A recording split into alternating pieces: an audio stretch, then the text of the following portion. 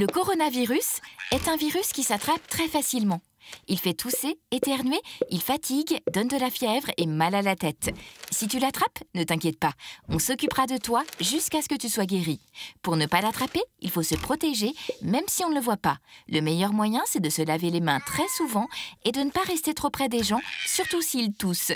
Et pour protéger tout le monde, il faut tous rester chez soi.